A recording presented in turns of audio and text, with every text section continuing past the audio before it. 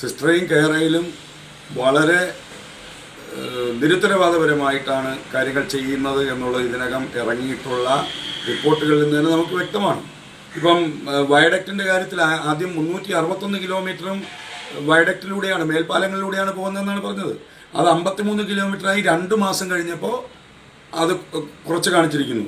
വീണ്ടും അത് ഒരു വർഷം കഴിഞ്ഞപ്പോൾ എൺപത്തെട്ടര കിലോമീറ്ററായി അതിന്റെ കണക്ക് മാറി. അതുപോലെ തന്നെ എംബാങ്ക്മെന്റ് എൺപത്തൊമ്പത് അര കിലോമീറ്ററാണ് ആദ്യം എംബാങ്ക്മെന്റ് പറഞ്ഞിരുന്നത്. അത് രണ്ട് മാസം കഴിഞ്ഞപ്പോൾ ഇരുന്നൂറ്റി മുപ്പത്താറ് കിലോമീറ്ററായി അത് മാറി. അത് വീണ്ടും ഇരുന്നൂറ്റി തൊണ്ണൂറ്റി രണ്ടായി വീണ്ടും അടുത്ത വർഷം അത് മാറി. അതുപോലെ തന്നെ ഇതിന്റെ ചെലവിന്റെ കാര്യത്തിലും ഇതേപോലെ തന്നെ വലിയ വ്യത്യാസങ്ങൾ കാണിക്കുന്നുണ്ട്. എന്ന് പറഞ്ഞു കഴിഞ്ഞാൽ ഇത് ദുരൂഹമാണ്. ഇതിനകത്ത് എന്തൊക്കെയോ നിക്ഷിപ്ത താല്പര്യങ്ങൾ അവിഹിത ഇടപാടുകൾ നടക്കുന്നുണ്ട് എന്നുള്ളതാണ് നമുക്ക് അവരുടെ തന്നെ റിപ്പോർട്ടുകളിൽ നിന്ന് മനസ്സിലാവുന്നത്.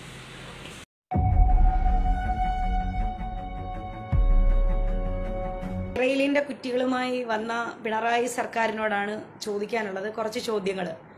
അന്ന് ജനങ്ങളുടെ ഇടയിലേക്ക് ഞങ്ങളുടെയൊക്കെ വീടുകളിലേക്ക് കുറ്റിയടിക്കാൻ വന്നപ്പോൾ ഞങ്ങൾ പറഞ്ഞ ഒരു കാര്യമുണ്ട്. കുറേ കാര്യങ്ങൾ പറഞ്ഞിരുന്നു. നിയമലംഘനമാണ് നടത്തുന്നത്. നിയമലംഘനം നടത്തിക്കൊണ്ട് പ്രൈവറ്റ് പ്രോപ്പർട്ടികളിൽ പ്രൈവറ്റ് കെയറിൽ കമ്പനിയുടെ കുറ്റികൾ അടിക്കാൻ വരരുത് എന്ന് പറയുകയും പ്രതിഷേധിക്കുകയും ചെയ്ത നിരപരാധികളായ ജനങ്ങളെ ഒരുപാട് കേസുകൾ ക്രിമിനൽ ഒഫൻസ് ചാർത്തി അറസ്റ്റ് ചെയ്യുകയും റിമാൻഡ് ചെയ്യുകയും അതുപോലെ തന്നെ അവരെ എന്നാ പറയുക മൃഗങ്ങളെ ഉപദ്രവിക്കുന്നത് പോലെ ഉപദ്രവിക്കുകയും ഒക്കെ ചെയ്ത ഒരു സാഹചര്യമായിരുന്നു കഴിഞ്ഞ മൂന്നാൽ മാസം ജനുവരി മുതൽ ഇങ്ങോട്ട്.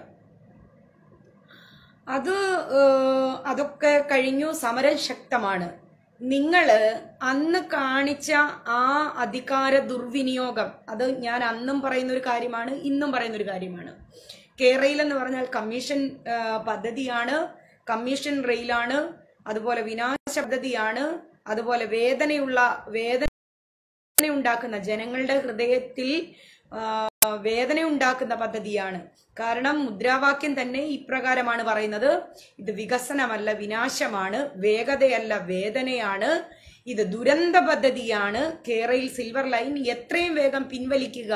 എന്നുള്ള മുദ്രാവാക്യവുമായി സമരസമിതി കേരളത്തിലെ കാസർഗോഡ് മുതൽ തിരുവനന്തപുരം വരെ വളരെ ശക്തിയായി മുന്നോട്ട് പോയിക്കൊണ്ടിരിക്കുക അപ്പം പറയാൻ വന്നൊരു കാര്യം എന്ന് വെച്ച് കഴിഞ്ഞാൽ ഈ കമ്മീഷന് വേണ്ടി ജനങ്ങളെ ഉപദ്രവിച്ച കമ്മീഷന് വേണ്ടി ഞങ്ങളുടെയൊക്കെ വീടുകളിൽ കുറ്റിയിട്ട നിയമലംഘനം നടത്തി ഞങ്ങളെയൊക്കെ ആക്ഷേപിച്ച് ഞങ്ങളെയൊക്കെ ദേഹോപദ്രവം നടത്തി ഞങ്ങളുടെ പേരിൽ ക്രിമിനൽ ഒഫൻസ് ചാർത്തി കുറ്റവാളികളാക്കി റിമാൻഡ് ചെയ്യുകയും അതുപോലെ തന്നെ അതുപോലെ തന്നെ എന്താ പറയുക ഞങ്ങളെയൊക്കെ വലിയ തീവ്രവാദികളെന്നും വികസന വിരുദ്ധ വിദ്രോഹ ശക്തികൾ എന്നുള്ള മുദ്ര ചാർത്തിയ നിങ്ങൾ ഞങ്ങൾക്ക് മാനനഷ്ടത്തിനുള്ള തുക തരുമോ? മാനനഷ്ട തുക ഞങ്ങൾക്ക് തരുമോ? ഞങ്ങൾ കോടതിയെ സമീപിച്ചാൽ നിങ്ങൾ അതിന് ഒരുക്കമാണോ?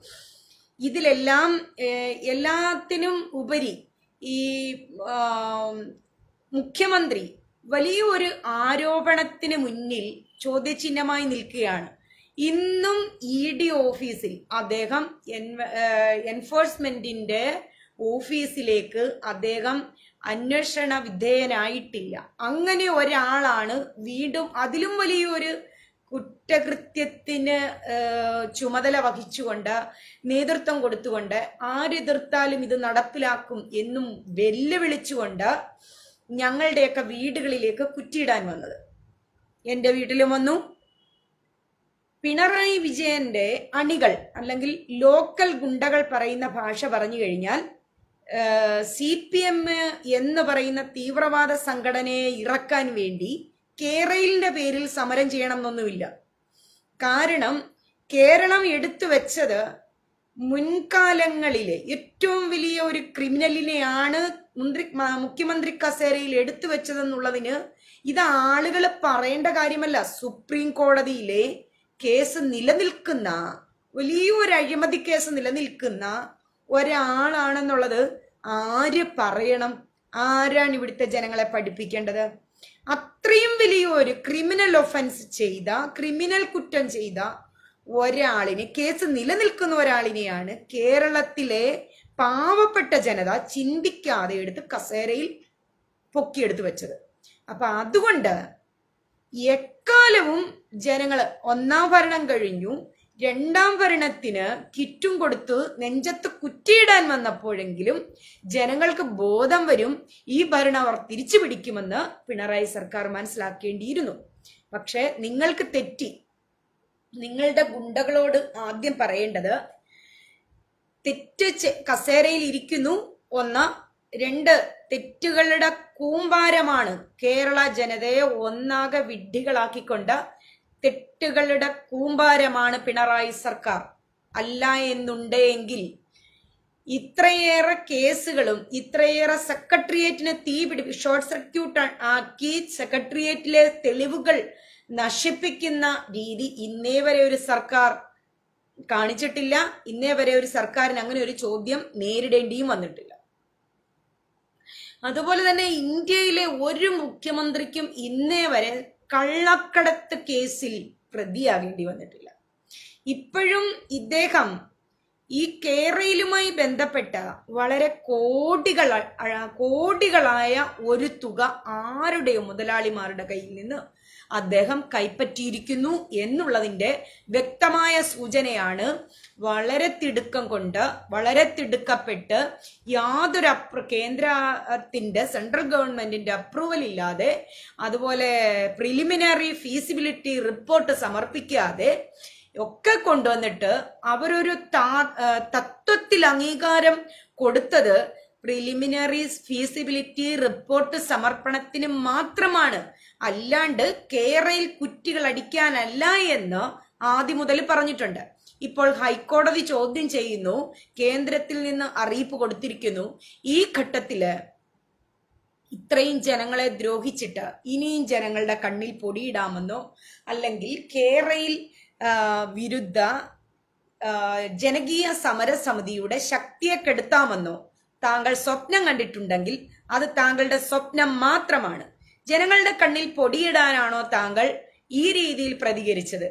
കേന്ദ്രത്തിന്റെ അനുമതിയില്ലാതെ കേരളയിൽ സിൽവർ ലൈൻ പോലൊരു പദ്ധതി നടപ്പിലാക്കാൻ പറ്റില്ല എന്ന് താങ്കൾക്ക് ഇപ്പോഴാണ് ബോധ്യപ്പെട്ടതെങ്കിൽ താങ്കളെ കസേരയിൽ കയറ്റിയിരുത്തിയ മൺ ജനങ്ങൾ മണ്ടന്മാരാണെന്ന് പറയേണ്ടി വരും. കാരണം കേരളിന്റെ കുറ്റികളുമായി കേരളത്തിന്റെ കാസർഗോഡ് മുതൽ തിരുവനന്തപുരം വരെ അങ്ങോളം ഇങ്ങോളം മൂടി നടന്ന കേരളയിൽ കമ്പനിക്കാരോടും അതിന് ചുമതലപ്പെടുത്തിയ ഗുണ്ട പോലീസിനോടും ഇവിടുത്തെ ജനങ്ങൾ ജനകീയമായ രീതിയിൽ നീതിന്യായ വ്യവസ്ഥകൾ പാലിച്ചുകൊണ്ട് നീതി നിയമങ്ങൾ പാലിച്ചുകൊണ്ട് സകല മര്യാദകളും പാലിച്ചുകൊണ്ട് സമരം ചെയ്തപ്പോഴും വിളിച്ചു പറഞ്ഞ ഒരേ ഒരു കാര്യമാണ് ഇത് കേന്ദ്രത്തിന്റെ അനുമതിയില്ല സിൽവർ ലൈൻ കേരയിൽ പദ്ധതിക്ക് കേരയിൽ കേന്ദ്രത്തിന്റെതാണെന്നും അതിന് കേന്ദ്ര റെയിൽവേയുടെ അനുവാദം വേണമെന്നും പ്രൈം മിനിസ്റ്ററുടെ അപ്രൂവൽ ആവശ്യമാണെന്നും ഇത്രയും വലിയൊരു തുകയ്ക്ക് ഇത് കേരളത്തിൽ ഇത്രയും വലിയൊരു തുക കേരളത്തിന് താങ്ങാൻ പറ്റില്ല എന്നും ഇത് പാരിസ്ഥിതികമായി വളരെ ദുരന്തമുണ്ടാക്കുന്നതാണെന്നും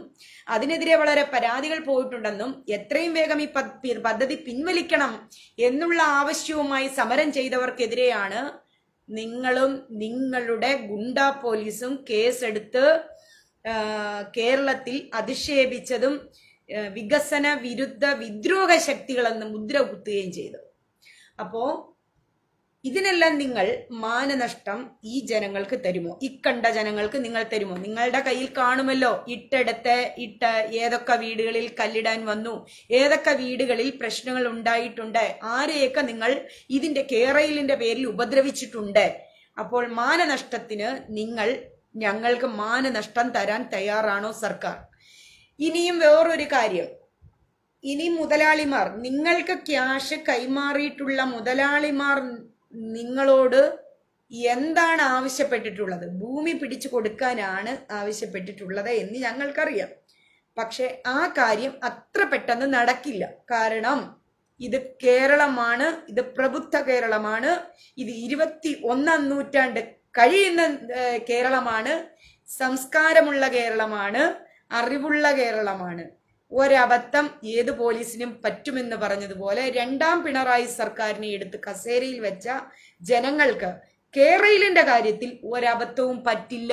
ഈ പദ്ധതി എത്രയും പെട്ടെന്ന് പിൻവലിക്കണം പൂർണമായി എന്ന് പിൻവലിക്കുന്നുവോ? അന്ന് വരെ ഈ കമ്മീഷൻ റെയിലിനെതിരെ വളരെ ശക്തമായി പോരാടും.